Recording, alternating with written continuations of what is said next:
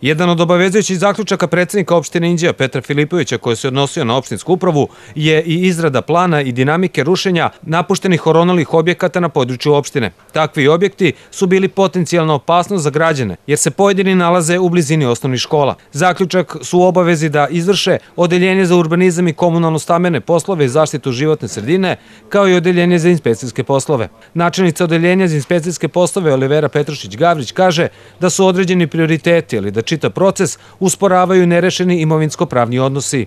S tim što su, da kažem, izvojeni e, prioriteti podobni i za ograđivanje hitno, a e, opšta uprava i zajednički poslovi, odeljenje opštinsko, je e, u toku sprovođenja nabavke za ograde, tako da to može da se, da kažem, obezbedi do, do okončanja drugih postupaka, a po prioritetima kako su dati, ovaj, što naravno obezbeđuje sigurnost i što je takođe važno.